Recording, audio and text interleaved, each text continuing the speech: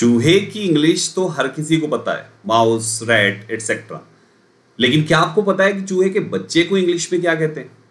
नहीं। आइए बताते हैं आपको। गाइस चूहे के बच्चे के लिए मेनली तीन वर्ड आते हैं। सबसे पहला वर्ड है माउस्किन जी हाँ माउस्किन हम बोलते हैं चूहे के बच्चे के लिए। M O U S E K I N दूसरा शब्द है पिंकी पी आई एन के आई ई जी हाँ पिंकी भी बोलते हैं चूहे के बच्चे को। और तीसरा शब्द है pinky P I N K Y ये वो पिंकी पिंकी है जब चूहा बिल्कुल छोटे छोटे से एकदम एकदम अभी न्यूली बॉर्न होता है, उसके लिए बोला जाता है। तो ये तीन वर्ड्स हैं जिनको चूहे के बच्चे के लिए इस्तेमाल किए जाते हैं। क्या आपको आज से पहले इन वर्ड्स के बारे में पता था? हाँ या ना कमेंट बॉक्स में ज़रूर बताइए। ऐसी ही बहुत सारी वीडियोस पाने के लिए इस वीडियो को लाइक कीजिए और ज़्यादा से ज़्यादा शेयर ज़रूर कीजिए।